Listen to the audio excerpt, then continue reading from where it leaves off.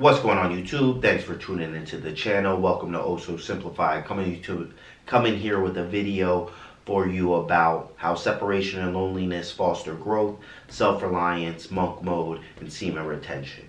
So let's jump right into it. As always, I'll summarize it all at the top for people that just want to hear one or two minutes. And then I will jump into the whole thing, uh, break it down, then apply it to my life because most of these videos are really just you know essays to me about what I'm doing, what I'm implementing, what I'm thinking at the moment, or what I wish I would have known in the past. So, getting right into this, we'll start with the separation and loneliness piece. Now, in order to grow, you definitely have to separate yourself from your environment. Um, if you stay in your environment, you're going to keep the same behaviors, thoughts, and actions. And with that, you're going to produce the same result because you're responding to your environment this way already and you're running the script of your life in this way already. Now, if something doesn't change, which unless your environment itself changes, that can foster something like a calamity, um, or you have to actually pull yourself away from this, which is the more evident, because even when certain things happen, people still operate the same way then, but you have to pull yourself away, which then is going to separate yourself, and you're going to feel the loneliness once you have detached yourself from that particular environment to then have different thoughts, then actions, behaviors to get different results. So in order to grow or for something to change, that has to happen in the beginning. Now, to jump into the self-reliance piece, self-reliance, nobody's going to come there and save you. You have to really learn how to deal with things head on for yourself. And this is something that really is my belief of what the educational system is supposed to be for is that you can go face the tasks that you have as a human being um, in order to operate in society, but then also to feel, you know, well within yourself in terms of solving basic problems for yourself. Have that ability and go out, and self reliance is definitely a major piece. Now, monk mode is the third piece. Monk mode is a a common topic that comes up in a lot of uh, red pill manosphere uh, side of the world content uh, many times, and I think a lot of times it comes like in one or two ways. One, I think there is an authentic way of monk mode, which is that I feel like this isn't something you choose, it's something that chooses you in the sense that you're having a feeling in yourself that you're very conscious of cannot be solved by anything other people will understand, which would lead to you understanding you have to grow in some capacity then separate yourself and have that loneliness. And that's really what happens with monkhood because monkhood is not something that's easy if you've ever studied it. Um, the other way would be something, well, actually, I'll lead that more into the breakdown, but basically, that's really what monk mode is about. It's not about, um, you know, women and all this other stuff, which generally how it comes up.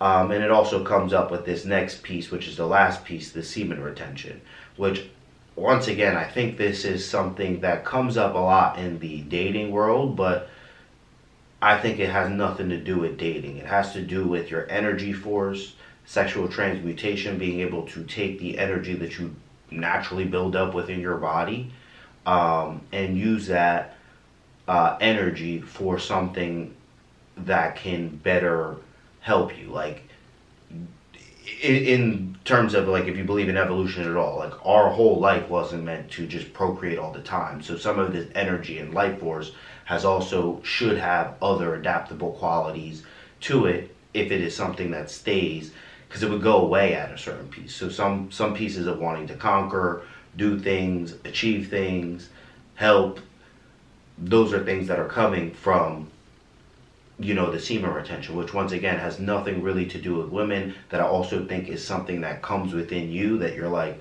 I need to keep this energy for something because the reason you're dissipating it is because you're thinking that dissipating it is going to answer something. And when you get to a point where you don't feel like dissipating it is going to answer something, you will stop. Now, when I get into the breakdown, I'll get deeper into how that all works because that's very much easier said than done.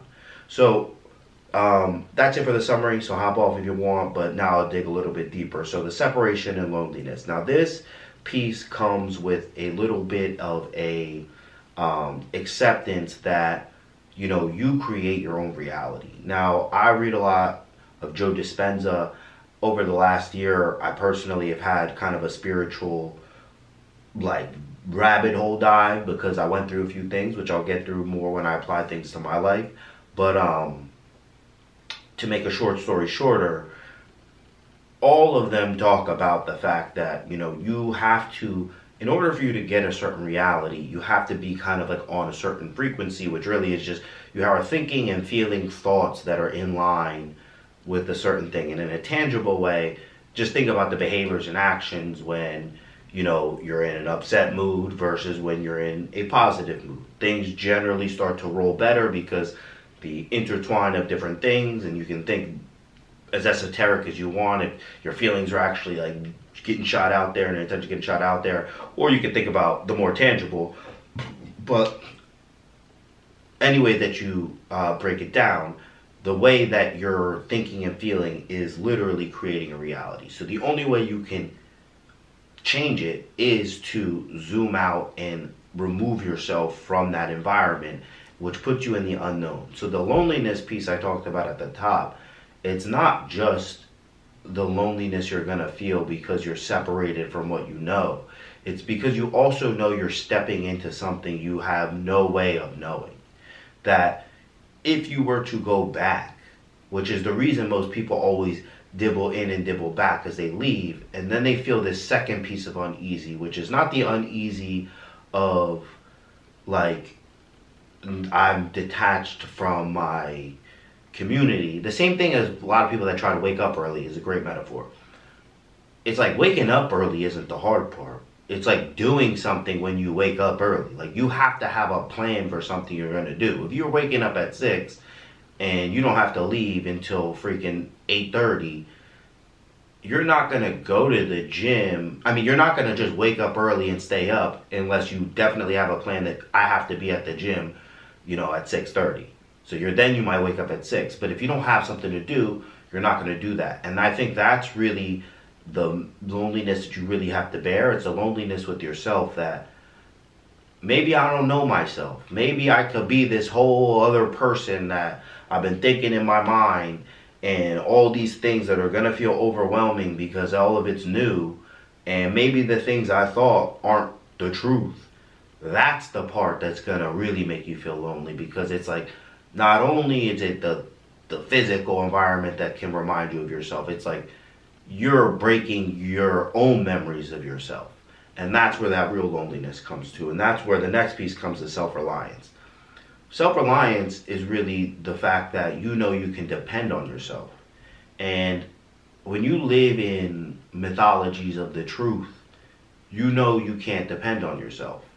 Um, and when you don't separate whether it's conscious or not, like if you know that you're depending on the thought process that other people came up with. When you separate yourself from a minute, when you meditate and see your thoughts coming in and out and start to question, am I even generating these thoughts? Or these just thoughts like like an ad that just, you know, they're just popping in my head like a scroll, but it's not like you choosing the scroll. Those kind of thoughts. When you start to go through um, the real meditation of where your thoughts and behaviors are really coming from, that is what's going to make you self reliant. So it can be something like an obstacle, like you're trying to do something and you get hit with something that you don't know how to go over. This is where you're going to have to start questioning Am I the person I think I am? How do I develop myself into the person I think I am or want to be? And then from there, you can overcome it. But at the end of the day, self reliance is the main thing that you should always be trying to gain. Being able to live life on your own terms. Being able to, I think Ralph Waldo Emerson, who wrote an essay on self reliance, said, like, the hardest thing to be is yourself in a world that's trying to make you someone else. And the more time you spend in circles with really other people or other things or media, even at certain point listening to me. Like at the end of the day, the, the answers are was inside you. The truth is inside you. Everything is within you already. Like a lot of this, you know, when I talk about getting into the esoteric stuff, it's like you're not like a drop in the ocean. You're the whole ocean in one drop. Like you're a part of the world too. just like the plant knows how to grow on its own, you know how to figure it out and move through society and be a human and become a, a functioning member like naturally.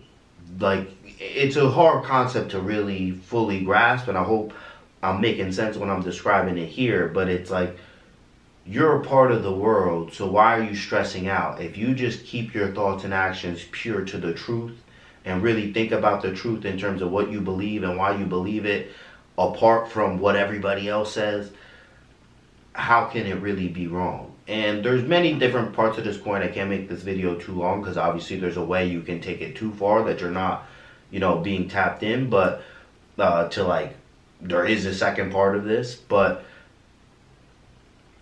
I digress. It's really self-reliance is, the main key here. Um, the next part will be about monk mode and semen retention. I might kind of combine this into one because it's like really one thing to me. Um, so in terms of like the monk mode and the semen retention, like monk mode, I feel like some people keep saying it like it's an easier thing than it is. And what it is is just you know, basically, uh, it seems like the semen retention part is like the main part that people keep focusing on with monk mode. But what, what I think you should focus on really is that you have something inside you, and it kind of keeps coming back to the same thing about like the truth. There's something inside you that cannot be quelled. So with monk mode, we'll start with monk mode, break down monk mode now. So it's something that chooses you, you don't choose it. What I mean by that is that you have to have a real reason to go down the pursuit of stripping away all your distractions. Um, it's not something like like you have to look at it like when you if you watch Kill Bill or old kung fu movies. When you go down to the master, there's gonna be trials and tribulations. It's not gonna be just easy to develop you into this. It could be like that Shaolin warrior or into this person that's reached enlightenment unless you have a real reason to get there. You have a real reason why you're cutting all these things out. You have a feeling within yourself that can't just be quelled by somebody just giving something to you. You just getting something from your current environment. You feel like, and kind of always going all the way back to this separation, like you feel like you need to grow. You feel like there's something inside you that I need to, inside myself, that I need to explore, that I need to separate cut out any distractions that could be things that are fun. A lot of times people look at the, you know, chasing women, you know, you know, the, the semen retention piece, definitely looking at vices and doing things that are like impairing your mind uh, and, and harming your body in, in terms of like poisons and toxins, uh, eating bad food, whatever you may, may be and I also personally believe because it's a, it's a layman's term. It's not like you're really going to a monastery. It's something for yourself, which is my main point of this whole monk mode thing.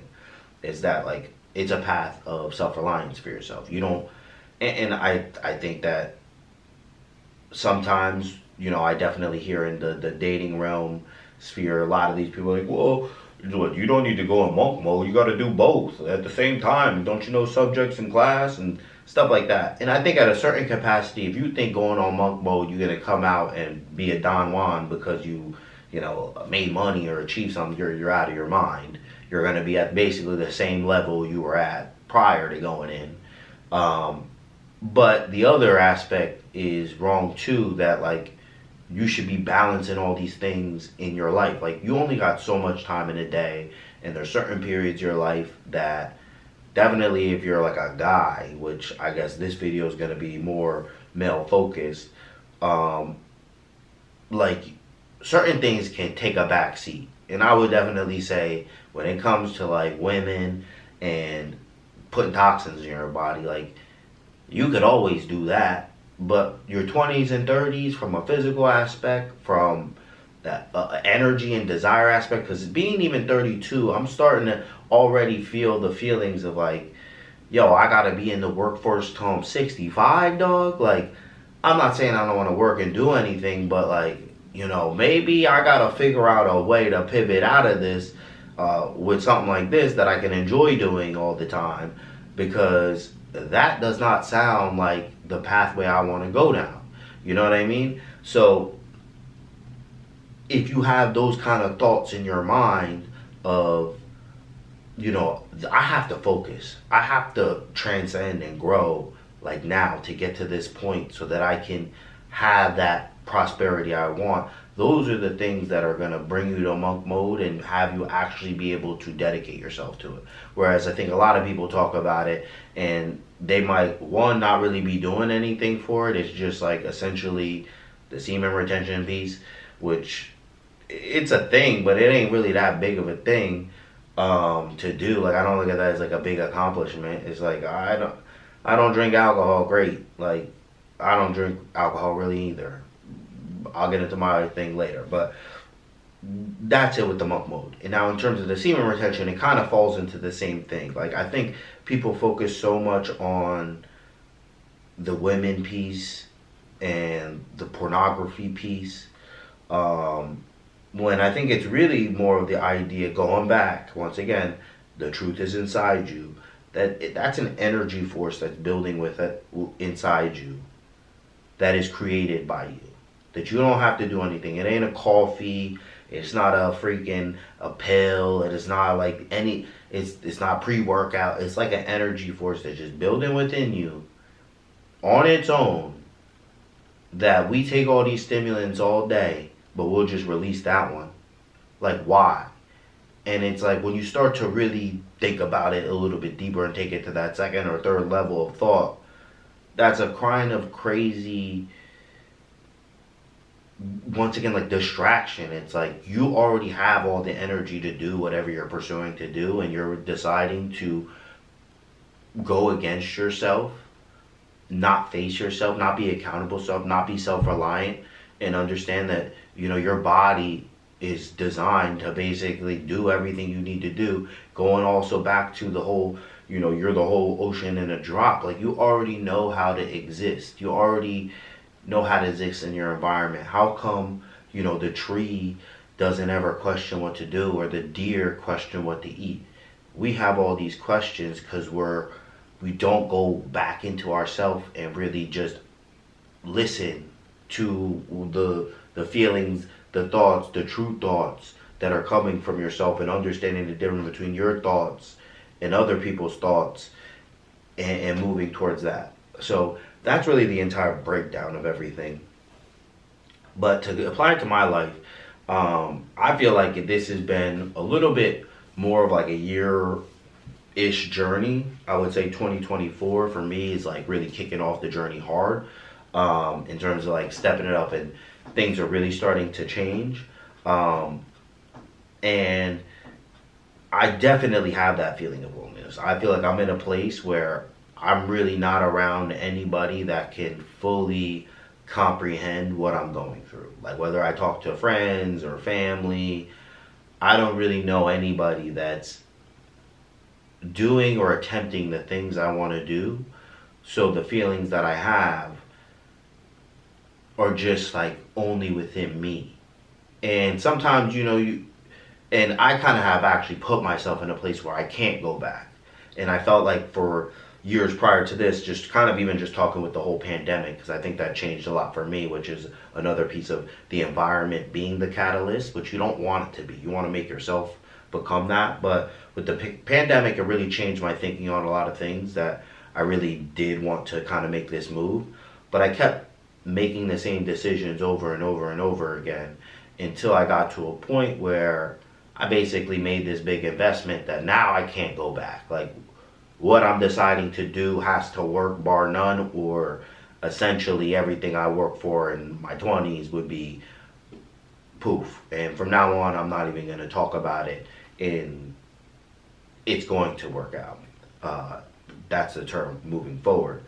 Um, but that's that first piece. So that separation and loneliness, like I don't know what's gonna happen. I'm making different decisions, but my back does feel slightly against the wall because I did make a different, one big different decision, and now I'm following that through to its, um, to its logical conclusion. Now, in terms of the self reliance piece, I don't really have people to reach out to to help me with whether it be financially with knowledge wise that really understands what I'm doing, where I'm going. there's certain pieces of the capacity, my capacity that, you know, I'm, i want to do this MMA thing, take it where it can go. I want to do this YouTube thing and take it to where it can go. In terms of my job and sales, I want to, you know, make as much money and close as much commission as I can and that. So in each one of those realms, I do, I guess, have people that can advise me, but they don't really understand how I'm going to bring that all together and the vision that I have moving forward. And I have to rely on me to understand that the advice that I get to always filter it through my own ears because at the end of the day, I know the truth and what I want to do. And at the end of the day, I'm going to have to face myself in the mirror. And whenever you listen to people, you're really just listening to their perspective on the thing. It's not really, people rarely give you advice from your perspective. They really like put their, you know, their, their, their feet in your shoes and are looking, trying to look through your eyes. They're usually just looking at something based on the way they see it from their eyes, from where they stand there. So always take that in mind. And that's why I always feel like in the self reliance piece, you have the last piece. Now, in terms of monk mode and um, semen retention, I would say for me, starting with the monk mode piece, and I can just add the semen retention because it's the way I look at it. It's all just distraction elimination. And the point I'm at now, because the investment I made is gonna, in order for, in order uh, for me to do what I'm, I'm, I'm doing and will do, I need to have a certain level of action and that kind of leads me to only have a certain amount of time in a day. You know, if I'm training, working out, and you know, putting hours in at the job, have to also go to New York some days, like basically three days a week between the training and uh, my job, that it, things are gonna have to fall out. Whether those are things like I can't drink on the weekend, we might have a holiday party, I'm not gonna drink. There's other things that I'll cut out. I, will cut out. I just don't want to say because I'm on camera now and I'm working somewhere. But if you look at my old videos, you can figure out what I'm talking about. That I'm cutting out in terms of even going to sleep late. Definitely chasing. Like I don't really do any kind of pursuing and looking to pursue. And also in terms of my vital energy, generally I don't ever feel like I should expel it. And with that in mind, it's something that I've always told myself, oh, I'm going to stop, I'm going to stop for this. And I'm not saying I don't crack on some of these things here or there, but I can see how they're just drifting away from my life. And it really wasn't, and why I'm saying it chooses you, it's not like I'm like counting the days and doing all this other stuff. It's like I don't really have time for that. Like my focus is so simple. That's why I like oh so simplified. My focus is so simple on one thing that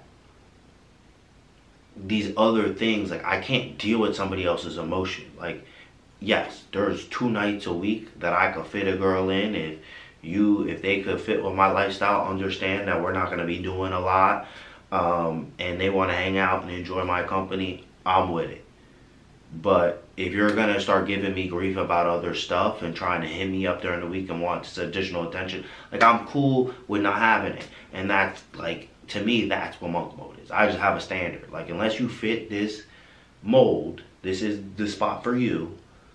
I'm not bending at all because it's like that's not what's important to me right now. What's important to me is proving something to myself that I can pull something off that I want to do in terms of, as I mentioned in my vital energy, like I don't want to release it because I'm trying to pull something off and I want every freaking bit of energy, every bit of help that my body can give me and I'm trusting in myself that I'm going to figure something out that I don't know how it's going to turn out. And honestly, it's been about it's been over a year at this point. I've been figuring it out. Maybe I don't have what it's going to be like in a year and a half, but month to month, I've been making it work every single thing. I'm not I haven't nobody's banging at my door or nothing like that. Like I keep staying one step ahead. I'm going to keep staying one step ahead. But to get back to what the monk mode is, it's really just having a standard for your life and saying that, like, this is what I'm after no matter what. I'm not letting anything get into that. And it's like a monk. They're looking for enlightenment.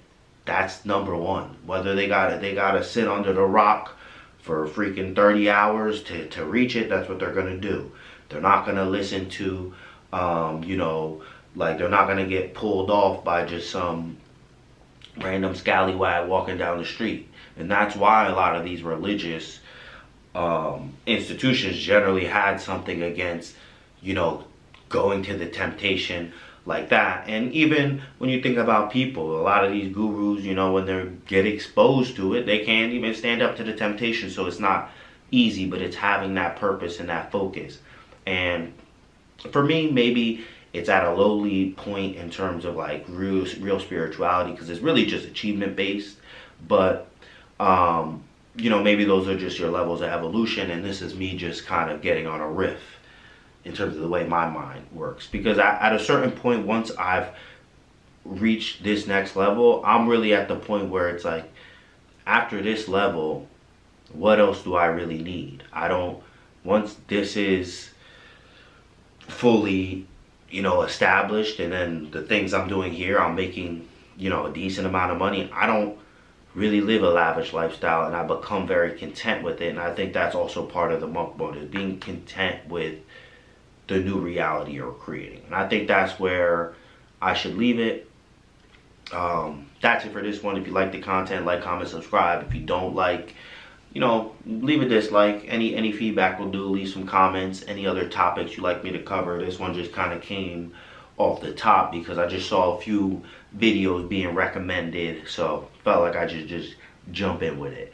Um, so until next time, you know what it is. Peace.